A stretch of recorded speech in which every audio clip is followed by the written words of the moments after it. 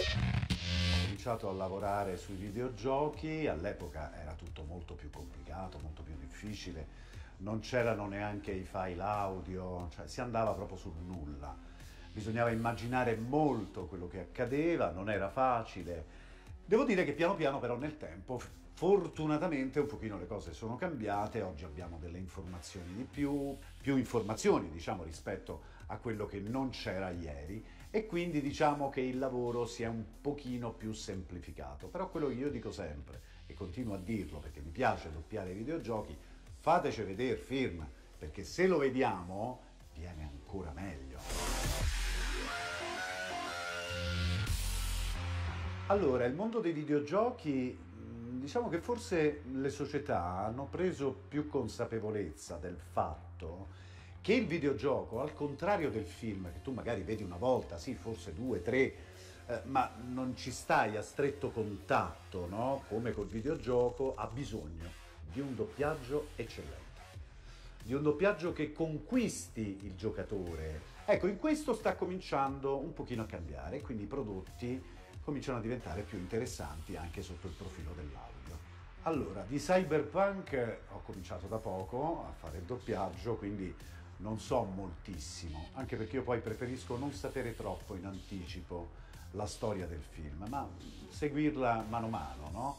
Di Cyberpunk sono molto dal pubblico, perché il pubblico, eh, quando è uscita la notizia appunto di questo gioco che era stato poi doppiato da Keanu Reeves c'è stata una sollevazione popolare e, quindi mi hanno spiegato, io poi chiedevo ma cos'è Cyberpunk, non, non avevo capito, lì, lì pensavo fosse un film piuttosto che un videogioco, da quello che ho capito deve essere una bomba.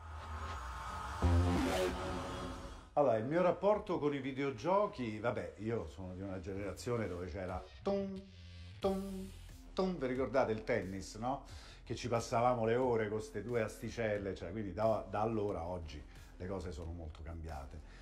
Non sono mai stato un grande giocatore, però ho avuto dei figli che invece mia figlia, mio figlio, mia figlia Gwendalina, mio figlio Lupo, sono dei, stati dei grandi giocatori, lo sono ancora, quindi spesso mi è capitato a volte di giocare con loro, di, comunque di seguirli questi videogiochi, oltre che a doppiarli.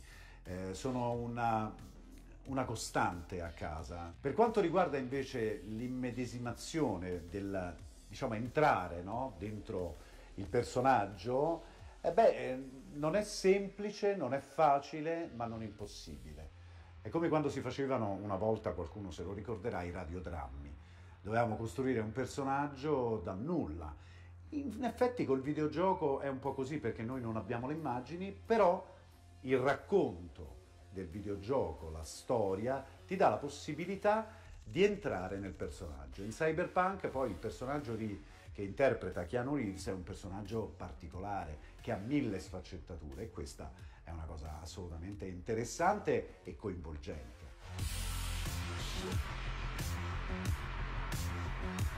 Ecco, quando poi esce il videogioco, il primo pensiero va a chi eh, ne usufruirà di quel videogioco, quindi sono più che altro i ragazzi giovani, no? E sapere che poi sono stati loro a battersi perché io doppiassi questo cyberpunk mi fa un enorme piacere. E qual è la sensazione? Sperare, cioè quello che sento io, è sperare di aver fatto un ottimo lavoro, che loro giocando al videogioco questa voce li accompagni, ma li accompagni realmente dentro il videogioco. Questa è la cosa più bella e più importante, perché poi lui la ascolterà per centinaia di ore. È pazzesco e quindi io diventerò estremamente familiare per lui. E questa per me è una cosa fantastica.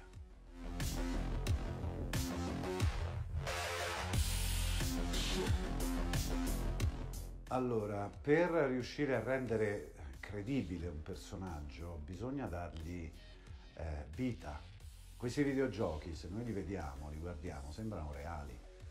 Più sale ovviamente la qualità visiva del videogioco, non solo la complessità del videogioco, ma la qualità, più c'è bisogno che eh, siano gli attori stessi a entrare dentro i personaggi.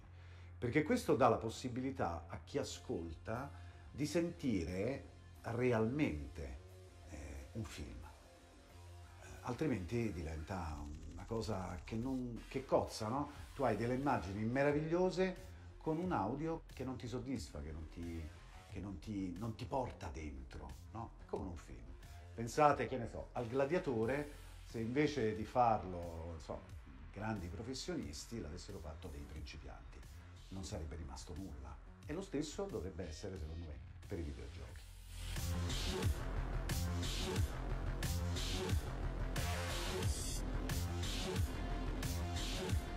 Ma io credo che i videogiochi inevitabilmente dovranno fare per forza i conti poi con eh, le grandi star. Perché? Perché gli danno la possibilità a questi attori, mh, da Keanu Reeves a...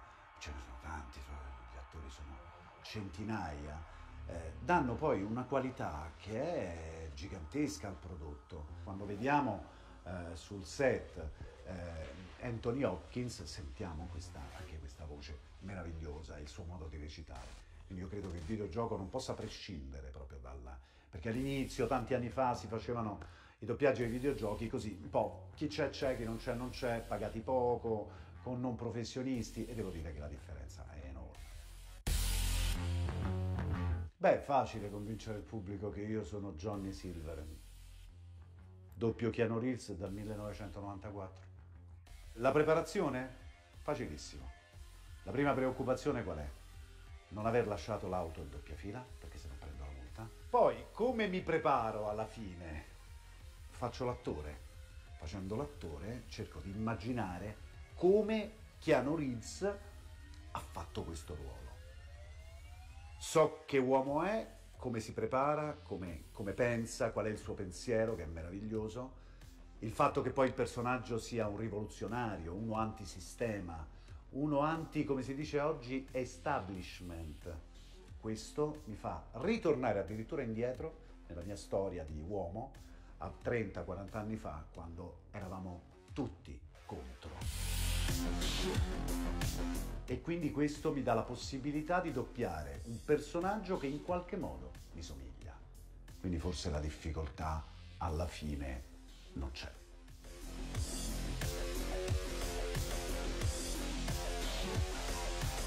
E come direbbe Johnny Silveren, abbiamo una città da radere al suolo. Venite con noi.